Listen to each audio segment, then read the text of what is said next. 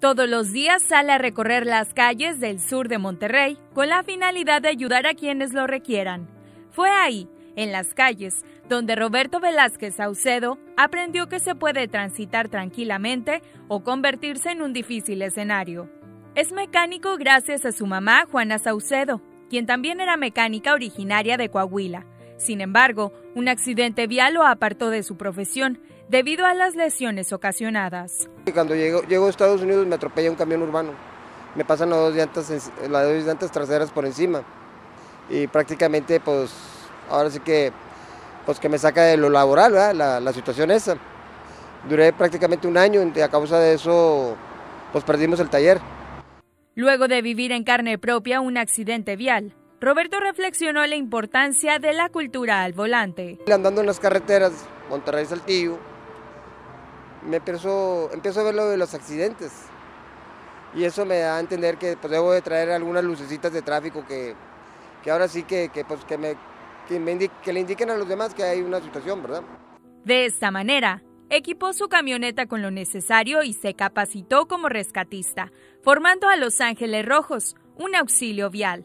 En sus 18 años de servicio, suele atender de manera semanal poco más de 10 accidentes, algunos con resultados lamentables. Uno que más quisiera llegar y que, el resultado fuera otro, pero pues a veces no se puede. No podemos luchar contra el destino. Nada, no dejo de ser humano. Trato de ayudar nada más. Lo traigo en la sangre, o sea, no sé. traigo mi botequín, traigo pues equipo, nos hace falta bastante equipo. Este, la gente normalmente pues algunos agradecen, algunos no se dan cuenta quiénes somos, o sea, uno lo hace de corazón. Por su propia cuenta, Roberto ha logrado salir adelante y mantener las unidades en buen estado para atender a la ciudadanía, saliendo todos los días desde temprano a recorrer avenidas del sur como Garcesada y Revolución, pendiente al llamado de la ciudadanía.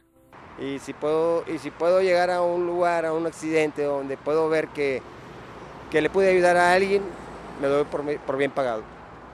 A sus 49 años de edad comparte que uno de los aprendizajes que la vida le deja a diario es buscar siempre lo bueno del momento.